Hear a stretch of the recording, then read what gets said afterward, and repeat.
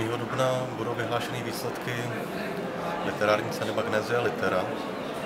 A my jsme se dneska přišli s okem podívat do knihovny Václava Havla, kde budou číst čtyři z nominovaných na tuhle cenu.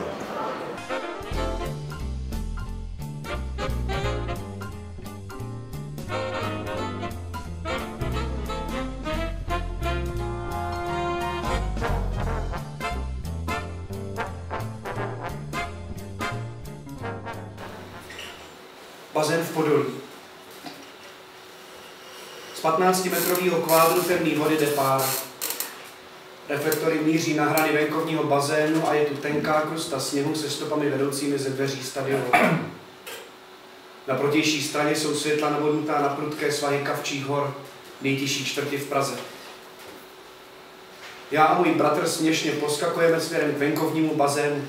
Jsem tak překvapený, překvapený mrazem, že se musím smát. Oddychneme si, jakmile se ponoříme do teplé, teplé vody. Odpočíváme. Lidi se vynořují z oblaků pány, někteří se na nás mračí. Přišli sem, aby dostali svůj klid, aby si užili teplo v prostřed mrazivé Prahy, ale my kluci je rušíme. Konečně se k nám přibližuje povědomá tvář. Máma. Znovu se směju z radosti, že ji vidím. Nevadí, že jsme spolu byli před 20 minutami, než jsme odešli do kabinek.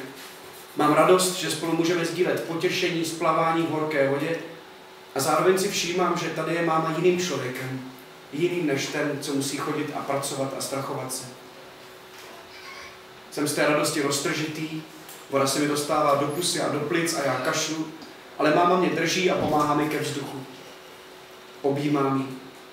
Přilepím ruce okolo jejího masivního těla v tmavě modrých plavkách.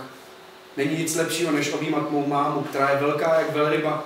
A já vím, že některý lidi si z ní můžou dělat legraci, některý lidi jí říkají, že je tlustá. Jenomže kdo by necítil bezpečí schovaný za tělem tak velkým, že okolo něj nemůžete odopnout paže. Ach, jich ouvej pláčeme, jak je nám líto amorty. Ve dne je sice nesnesitelná sobě a především lidem okolo ní, sloužícím a poddaným. Není se čemu divit po takových nocích různých příšerných, začínajících jako nic, bez jakýchkoliv náznaků budoucích úzkostí. Amorta si vyčistí zuby důkladně voskovanou dentální nití a velmi měkkým kartáčkem. Zuby se jí mírně vyklají. No a co? Nechá si vyrobit uměle, dokonalejší, přiměřené, aby nikdo nezaznamenal změnu v jejich ústech ale ta trýzeň, která by určitě přišla společně s novým chlupem. Žádnou bolest nepocítíte, Máme prvo, mám prvotřídní medicamenty. A Morta s dělením zubního lékaře jedno věří, to druhé ne. Po noci obzvláště. Přitom většinou usíná lehce, bez potíží. Budí se mokrá, s vlasy přilepenými na kůži lepky. Břišní svaly má stažené do vystrašeného klubka, zhluboka se nadechuje a vydechuje podle návodu z odborné knihy. Ruce si pokládá na břicho a hladí. Doleva krouží pohyby, měly by zmírnit napětí. Ale na je dlouho. Kolikrát za noc ještě bude nosit své nemocné dítě, neduživé s průslipným tělem, s vlajícíma bezmocnýma nohama, spadající hlavičkou dopředu, dozadu, dopředu, dozadu. A Morta se jí snaží zachytit a podepřít. Dětské tělo ji však proklouzává mezi prsty a odtéká pryč. Jednou jsem přišla domů a měla neodbytný pocit, že jsem někde něco zapomněla. Znáte to, podrbu se držení ve vlasech, ale vlasy nikde. Kde jsou moje vlasy? Matám a matám, ale kde nic, tu nic. Tak to je moc divný. Bývala bych se plácla do čela, no jasně, já ji určitě ráno zapomněla v koupelně. Bez hlavy jsem se rozběhla do koupelny, koukám nalevo, napravo, područníky do skříněk, ale nemůžu jí najít. A najednou v zrcadle vidím, že tam nic nevidím. Rozčilením jsem si promnula oči, vlastně nepromnula, hmátla jsem zase do prázdna. To jsem zlý sen. Chtěla jsem se štípnout do tváře, abych se probudila, ale ta nikde nebyla co aspoň vytahám za uši, to mě probere, můžete pak. A najednou jsem se musela chytit za nos, to se jen tak říká. Za nos jsem to totiž ve skutečnosti chytit nemohla. Vždyť já si dala do tašky.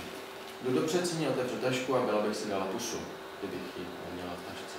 Byla tam.